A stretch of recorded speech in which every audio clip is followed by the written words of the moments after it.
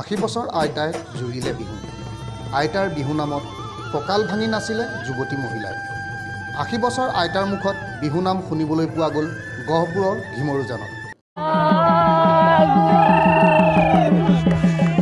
তোমাকে বিচাৰি লাহৰি বিচাৰি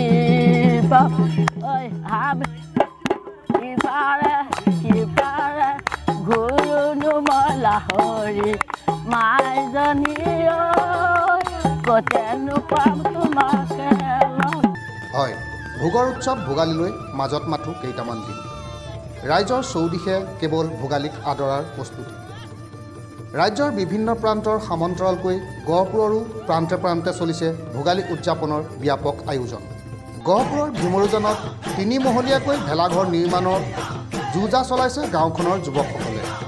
যুৱকসকলে ভেলাঘৰ নিৰ্মাণত উঠি পৰি লগাৰ সমান্তৰালকৈ গাঁৱৰ মহিলাসকলে ভেলাঘৰ নিৰ্মাণস্থলীত জুৰিছে বিহু। মহিলাসকলক সংগ দি বিহু নাম জুৰিলে এইগৰাকী আশী বছৰীয়া আইতাই।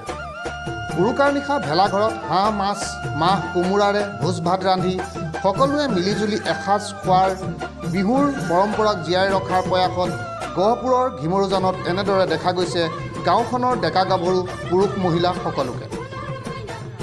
হাবি কাটি ঘূৰালো শদিয়ালৈ পোদালো মাইজনী জোৰালো কদম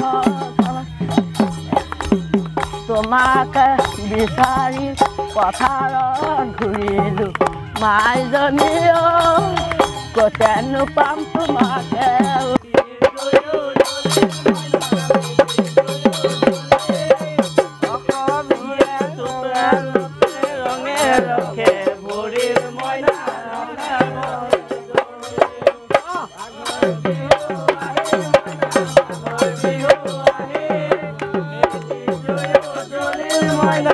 একে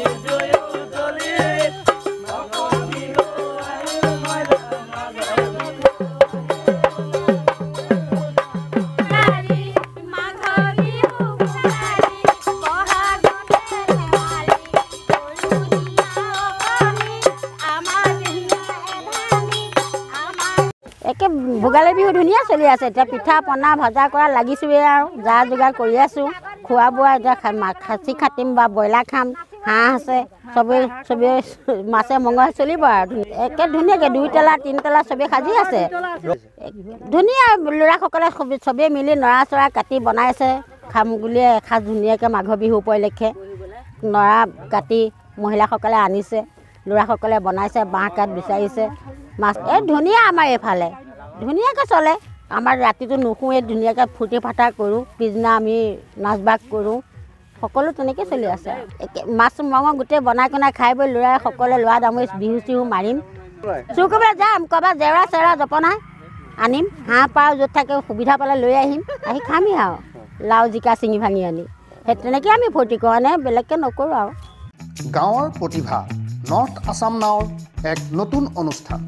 গ্ৰামাঞ্চলৰ চুকে কোণে থকা প্ৰতিভাসমূহক ৰাইজৰ আগত পৰিচয় কৰি দিয়াৰ আমাৰ প্ৰয়াস।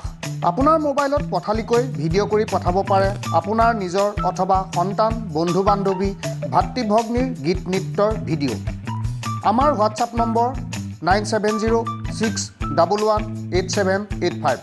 নম্বৰটো আকৌ এবাৰ কৈছোঁ nine seven zero' six double one eight seven eight five. নৃত্যৰ ক্ষেত্ৰত বিশেষ এই যে কপিৰাইট থকা গীতৰ নৃত্য আমি প্ৰচাৰ কৰাত আমাৰ কিছু অসুবিধা আছে। ধন্যবাদ।